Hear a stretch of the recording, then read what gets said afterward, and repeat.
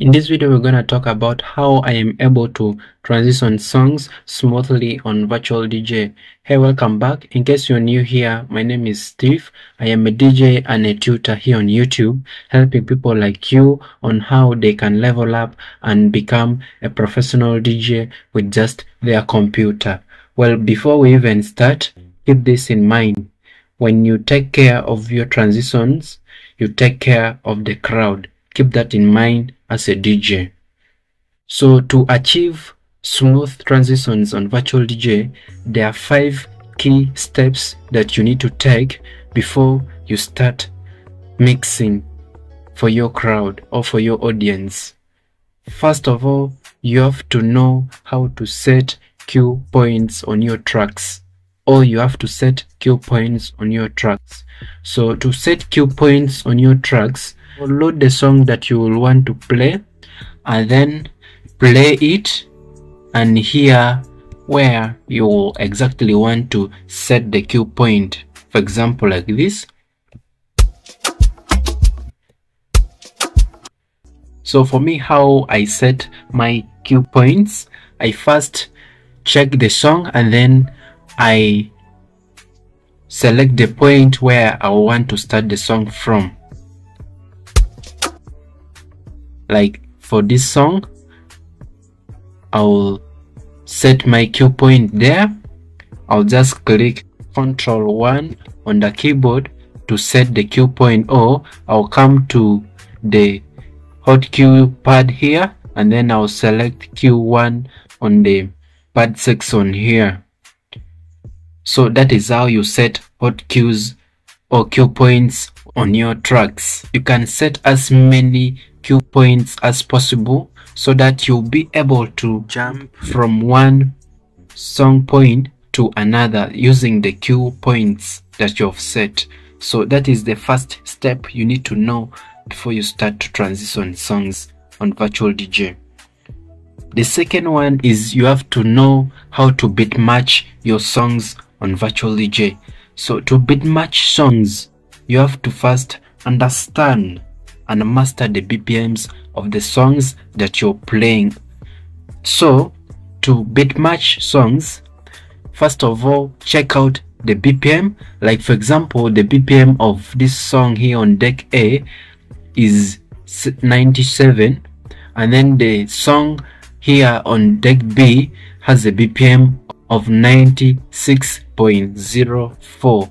So, for me to smoothly transition this song or blending this song to the first song playing on deck A, I will have to beat match my song on deck B to the one playing on deck A. So how to beat match?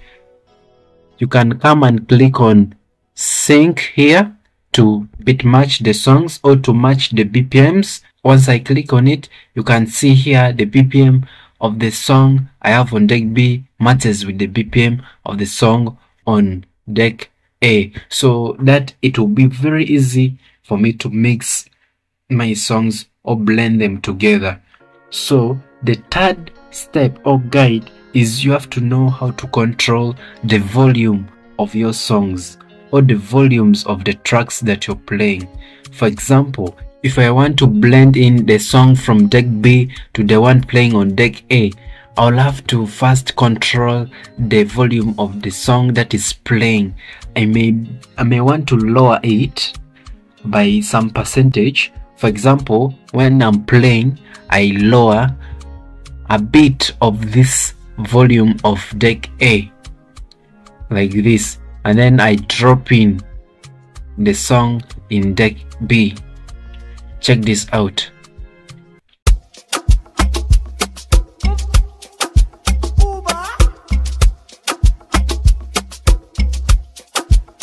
Girl, I like to say your boom boom chow. Sigo sigo na le zoom zoom now.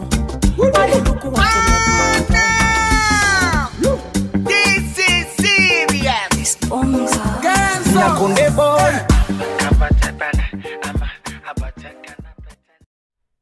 And then the fourth step that you have to keep in mind or know as a trick is that most DJs use sound effects to cover up the mistakes that they make during transitioning that the audience or the crowd will never notice when they use the sound effects that they have.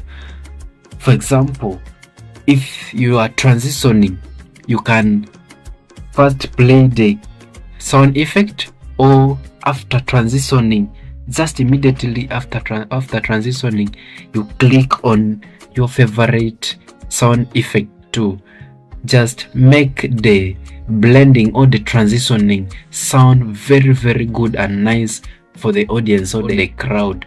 So this is how you can do it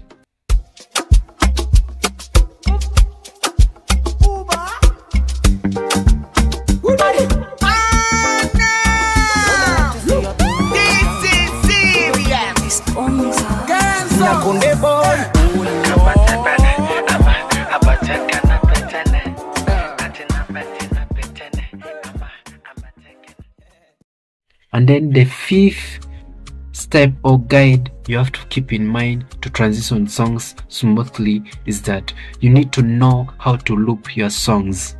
Okay? Looping is very easy when you set cue points. Okay? Set the cue points and then whenever you want to loop your song, you just click on the button you've set on the keyboard to loop a song you have to know how loop works. For example here the loop is at 2 i can increase the loop or reduce the loop. As long as it sounds good to me and the crowd okay? So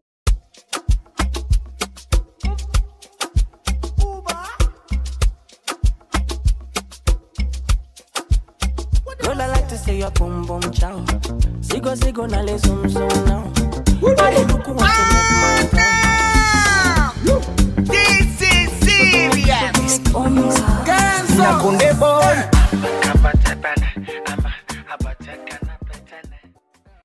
that is how you can use the loop deck effect to transition songs on your virtual dj so to learn the steps into details i've linked all the videos for the steps in the description below. You can check them out or you can click on the playlist on screen here